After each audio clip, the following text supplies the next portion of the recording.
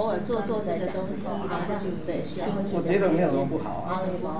呃，没有什么。那他不是也要喝？对对对，那那个有蛮多这个步骤的，你要看。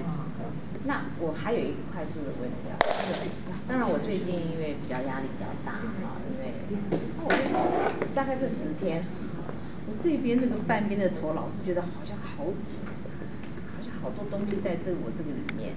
当然我我因为我妈妈最近生病，所以我就蛮担心的，我常常睡不好觉，这是近况。但是我我一直都有胆固醇、三酸甘油酯的问题，所以我现在就有点怕说这个会不会影响啊，在我自己现在压力大的时候，就是。所有的这个压力大等等哈，是我们人体自己的一种神经系统。哦，你感觉到压力大，好，当你会感觉到压力大的时候，是表示已经好很多了。最怕就不感觉到。开始你不感觉到压力大的话，那就是就是没有办法去停止。啊，所以呢，你就意那一般你会偏头痛等等呢，是因为。你的某一个姿势造成的啊啊，或者是因为你在做某一件事情的话，一直做很多，没有让他足够的休息，没有让他足够的循环。哎，你如果是做让他足够的循环的动作，他就不会。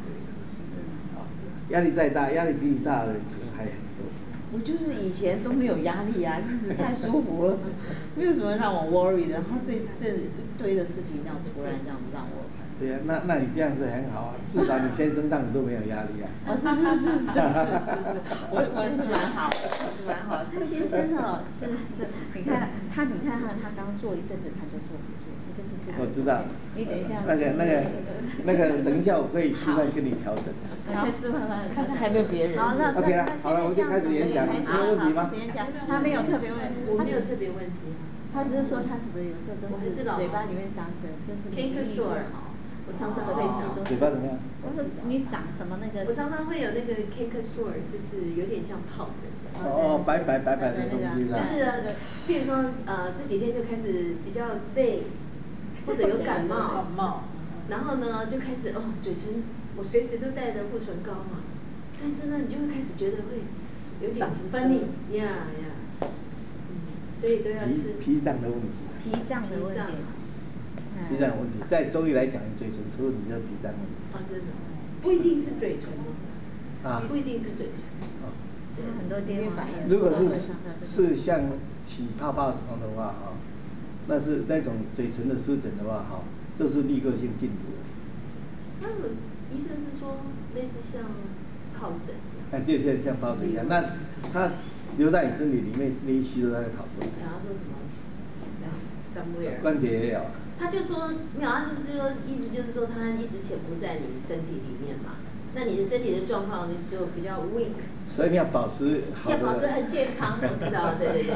要吃吃多，睡多，喝多。那就是你有好命可以享受。啊，就是没有，所以老是办，老是办的。没有，我们哦，都还是听医生给我们一些指导，然后要做不做，你就师傅领进门修行课这样。那当然，当要，但是会注意一下。对好，那我想我们赶快。OK，好，来，我我来开始来告诉诸位。